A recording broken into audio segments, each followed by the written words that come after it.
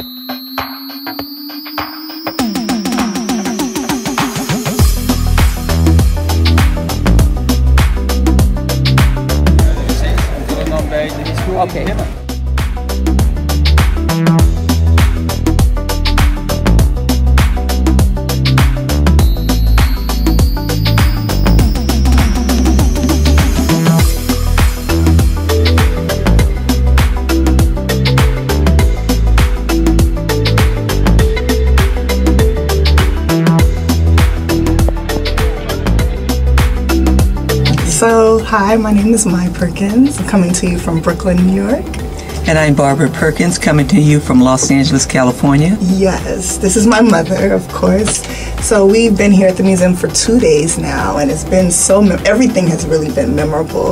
Um, the 1968 and beyond, but particularly the first level, uh, we had a wonderful docent by the name of Johari, also a bison, and she was so informative with all of the, uh, the details and the nuance and the different um, just things to reflect on that you just would never necessarily pay attention to while taking the tour. And what was, what do you think?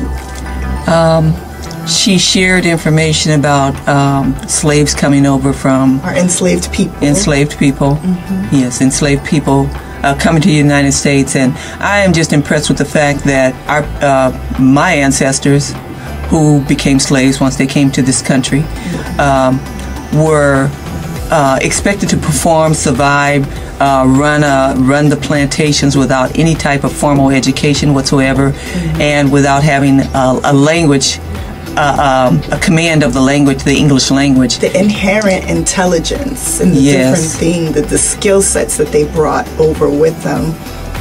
Like people never talk about those things. It's always, of course, the tragedy of the Middle Passage, but I love how the museum spends so much time uh, reframing the perspective of the, the humans, the human beings who were brought over and the skills that they brought with them. Yes. Um, more than just labor, but the intellectual capital, if you will. And it's really a blessing to be a descendant of some of the strongest people in the country and, or in the uh, world.